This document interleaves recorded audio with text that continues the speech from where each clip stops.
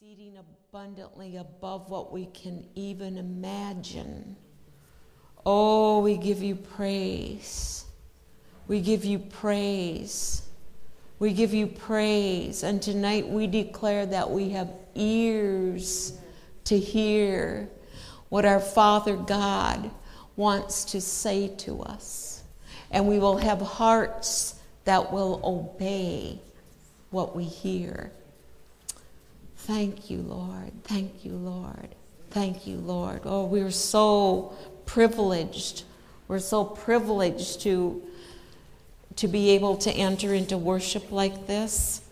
Oh, God, Father God, Father God. Tonight, um, I'm going to share what um, began stirring in my heart last July. And I can remember the freshness of it. And I've been chewing on it, I've been meditating on it. I'll, it keeps rising back in my thoughts, in my spirit. And when Andy asked if I would share, I knew this was it. I've been brooding on it. You know what I mean? I've been on the nest so to speak, concerning this. It's Ecclesiastes 5 18 to 20. Even so, I've noticed one thing at least that is good. It is good for people to eat, drink, and enjoy, yes! enjoy their work under the sun. Yeah, it's a short life compared to what we're going to spend in eternity, but God's given it to us to accept our lot in life. It's a good thing to receive wealth from God and the good health to enjoy it. To enjoy your work and accept your lot in life, this is indeed a gift from God. God keeps such people so busy enjoying life that they take no time, oh, to brood over the past. I didn't know that word was in there. Um, tonight, I believe the Holy Spirit is going to personalize His word to you and receive it from the Father God's heart, the one that created you, your life, because He wanted you to be living now. He wants, he wants you alive and doing well now. He created a world, we don't know how long ago, but right now, He wants us in this world. And He wants you to enjoy being here. And as we look at some of these scriptures, I thank you, Lord, that revelation is going to come if it's not there already. I have a short little quote from Joyce Meyer. She said, We will always be moving towards some goal or objective in our lives. As soon as we finish one, it seems as if another will take its place. As believers, we are always extending our faith for something. Whatever we believe God for right now could happen soon, or maybe a year from now. But by that time, we will be believing God for something else. The Lord is teaching me that since we are going to spend the majority of our lives waiting for something, we should learn to enjoy life as it unfolds. Enjoy life as it unfolds. Enjoy life as it unfolds. If we do not, life will pass us by and we will never enjoy where we are right now. I encourage you to enjoy everything you do to the fullest extent for as long as you live.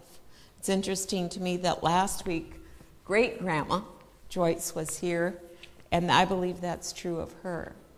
She's enjoying everything she does to the fullest extent.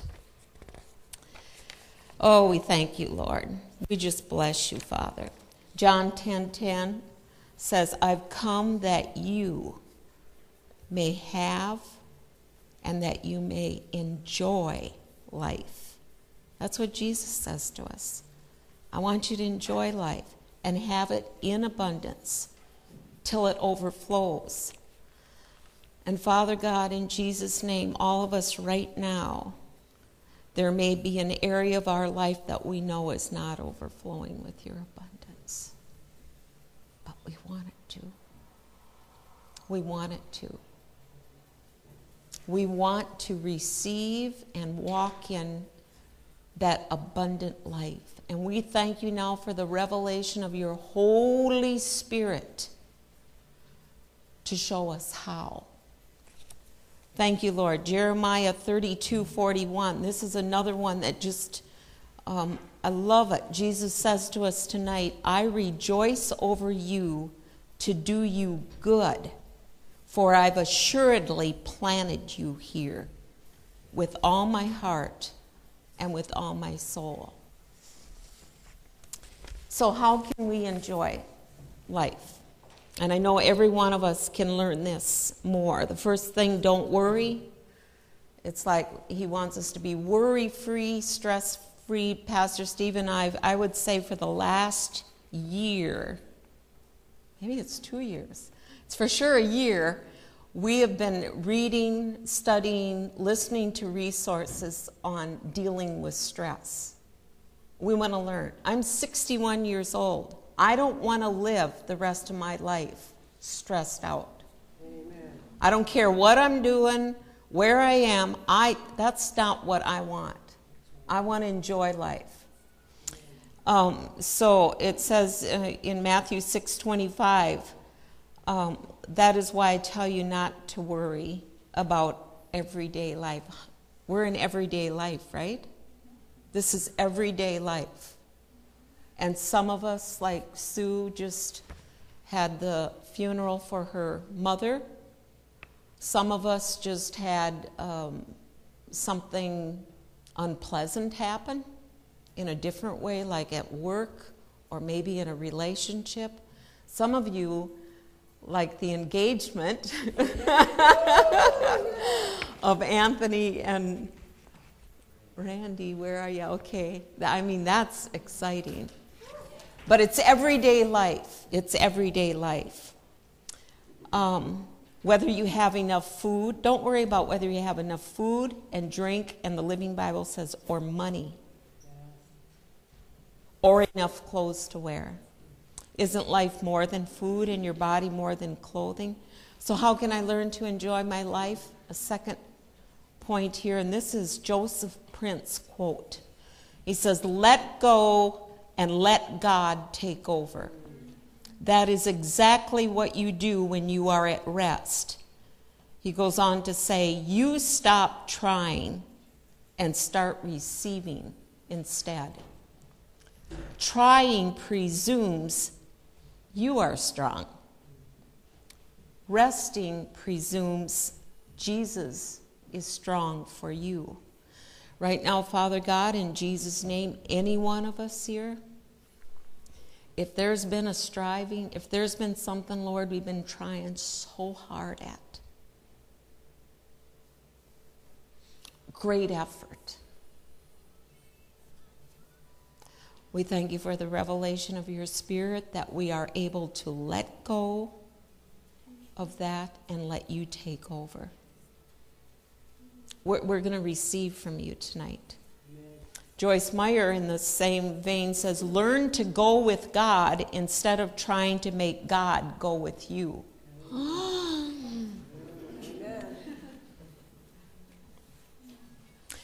Matthew 11 30. Let me teach you, and you'll find rest for your souls. Tonight, that's what was happening we were enter, entering into a holy rest. Amen. Joyce Meyer, as she taught on this, said the word rest means free and light. Free and light. So Jesus says to us tonight, He wants us to be free and light. Repeat that after me if that's your heart cry. I'm free and light. I'm free and light tonight. I'm free and light. It's by the work of your Spirit, Lord, not by our striving.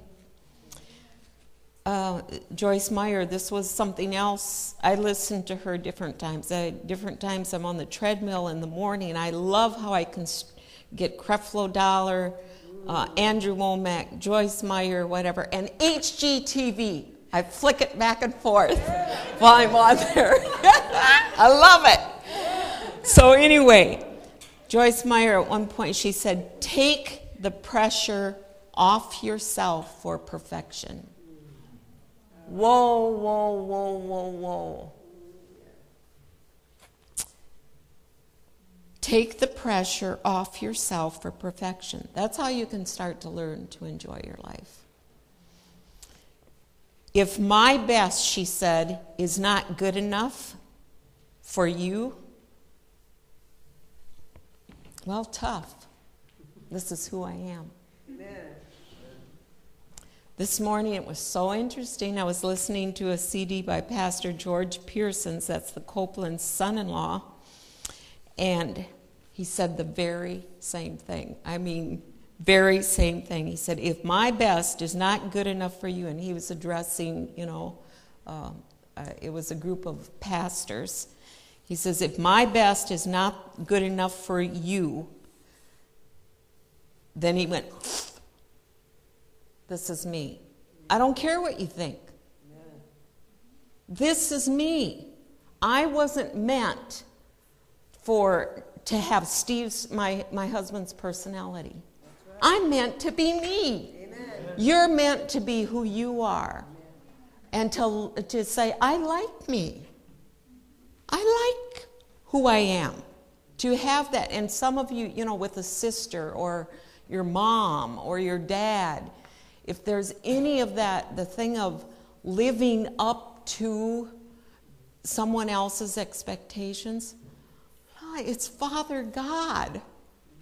That's that's who we're living for. And so, yeah, we're free to be ourselves. Um, another thing Pastor Pearson said uh, this is what you get, this is me. And he said, give yourself a break. All of us have had, and it could have been in this day, where there's been a, you think it's a perceived thought that someone had about you, and it wasn't up, it was down, that type of thing. But it's like, give yourself a break. This is, this is life. I mean, we're surrounded by people. But the important thing is that we're not tough on ourselves. That just defeats what God created us for. How can I learn to enjoy my life? Be content with what you have. Philippians 4:11. I've learned in whatever state I am to be content. Now that can pertain to um, your car. It's not the car you want a year from now. It may be like a piece of junk. Well, take care of it till the Lord replaces it with something else. It may be with your house, your apartment, whatever. It's not where you want to stay. Take care of it until He gives you something better. Be content with it, satisfied with it. Have it your job. Some of you know that five years from now, this is not the job you're going to be in. You think, heaven forbid that I'm still at that job five years from now. But make the most of it. Be content that you got a job, you got a paycheck coming. Be thankful about that. Maybe it's um, learning to be content, satisfied with your mate or no mate, your kids or no kids. But it's all about the attitude of your heart. And I just, as I um, uh, was writing, working on this yesterday, I thought of our house. We have lived here now um, 35 uh, years. And when we first moved here, we were um, uh, we moved up with Jerry and Joyce Pomp and their four kids, yeah, they, none of them were married. Just Steve and I were married, and um, I I can remember we were so excited. We just knew we were supposed to um, move up here, but the lodging was not the best. Um, I was pregnant with Sarah. We came up in June. She was born in October.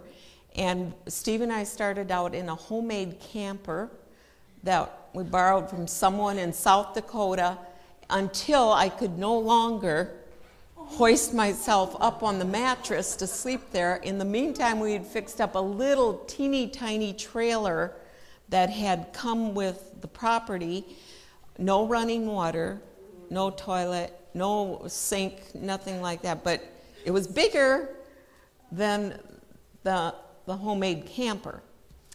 And so I fixed it up. See? I, it, for me, I was thankful for that. Um, I made it like a little home. And then from there, when Sarah was born, okay, Jerry and Joyce, they put up a new Wausau home on the property next to us. Steve and I got the trailer house. It was like graduation time. Running water, a toilet. You know, I just, it was, and I know from the pictures the kids will say, but mom, it had birch trees down the middle of the living room all the way to the kitchen. Why, I says, yeah, that was holding the roof up. And I decorated those birch trees. I had my philodendron crawling around them and my spider plants, and people would come and go, Oh, it looks nice in here. It did. Whatever stage we had with our crazy housing situation, when I look back on it, it looked good. When we couldn't afford bedding plants, we'd go across the road into the state forest and I'd be digging up cow slips and ferns and whatever, because they were free. Transplanting them by my little sidewalk, or no, I didn't have a sidewalk. Um, but anyway, I had to smile. At, for some reason, I ran upstairs and I come up there and I thought, okay, what stage are we at now? We've been doing more remodeling. Each time we had a child, Steve, who's not a carpenter, built a piece onto our trailer. And it's really, that's what happened. We kept, so we had three different editions or whatever. And I'm so thankful over the years, um, we were able, we either had um, men from this church who just had mercy on us and helped us build it, or we hired them. The last project was, was last year. We were working on it um, thanks to Greg Pierce. And um, I can remember okay, we were going to get new kitchen counters in. Oh, new kitchen counters. And then I had the thought, huh, those old kitchen counters, they're too good. You know, do I put them in the garage or whatever? I had the thought to move them upstairs into what had been Andy's bedroom, and I've reclaimed it for my art room. And so I watched those guys take up those pieces of the kitchen counter and lay them on the floor there. I was so thankful. I, just, I could see it, I could picture it. I was content. Okay, I couldn't use them, they were on the floor. But I was content just visual, I could visualize them eventually, the frames being built and the countertops going up. And through that whole process, which now they're up thanks to Andrew, my son in law, I learned more and more to be content with what I had. And I just realized I learned something really important because life is not always perfect and not always, you know, here it is, it's all ready for you. Sometimes it comes that way. Uh, how can I learn to enjoy my life? Number four, Joyce Meyer says, learn to zip your lip. Amen. I have on my um, bathroom mirror teachings from Keith Moore about my speech. Think before you speak.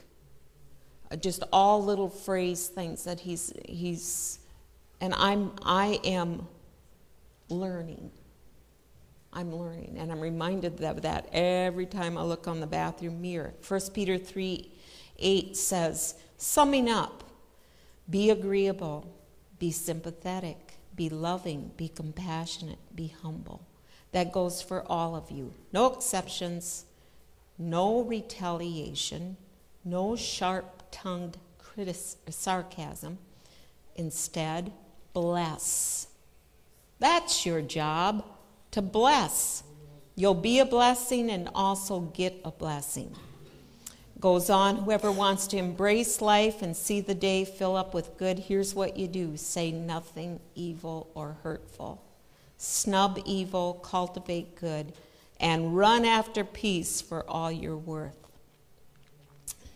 Um, as I was uh, reading that scripture, I had a flashback to Volga, South Dakota. It would have been 1975, 76, in that time period. And um, the Lord provided a great teaching job for me. I'd graduated from Calvin College in Grand Rapids, Michigan, with a teaching degree, art and humanities. So, anyway, I by the grace of God, I get offered this job of a little Christian school in Volga. And um, it was interesting. It was very interesting because uh, I started that job teaching in September. We got married in October. And I was principal. I was the principal of this little Christian grade school. Um, I taught all subjects for grades 5, 6, 7, and 8. Um, I was the art teacher for the, you know, all the, all the uh, grades, Ed teacher, music teacher, and I was a new wife. so life was very, very interesting.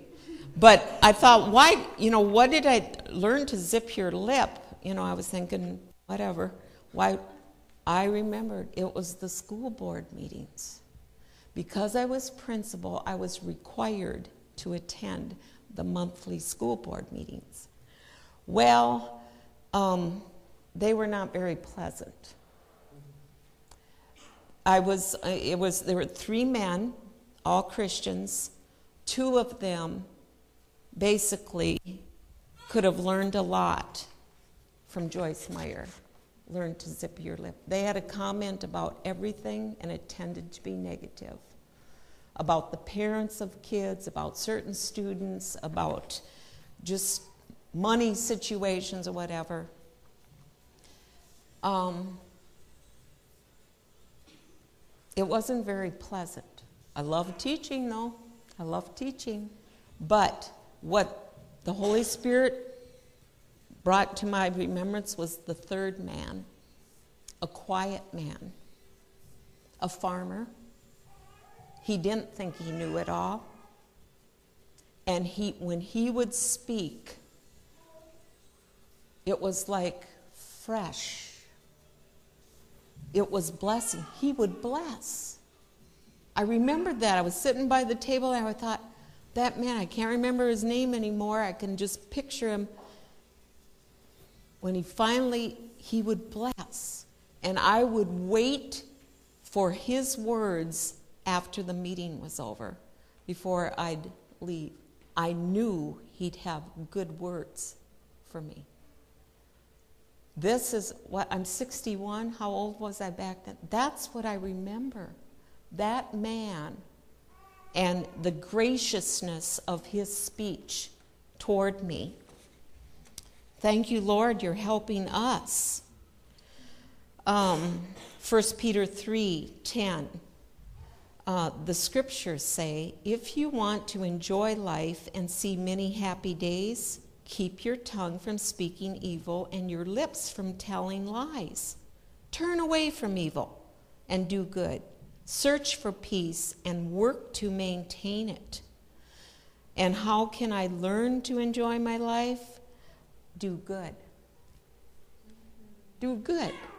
Every one of us, every day, has a fresh, clean slate to do good for someone. And let's not forget our own mates or the ones or your parents where you when you wake up, who's there? How can you do good? How can you do good towards them? Um, 1 Timothy 6 17. Teach those who are rich in this world not to be proud and not to trust in their money, which is so unreliable. Their trust should be in God, who richly gives us all things we need for our enjoyment. Tell them to use their money to do good. They should be rich in good works and generous to those in need, always being ready to share with others.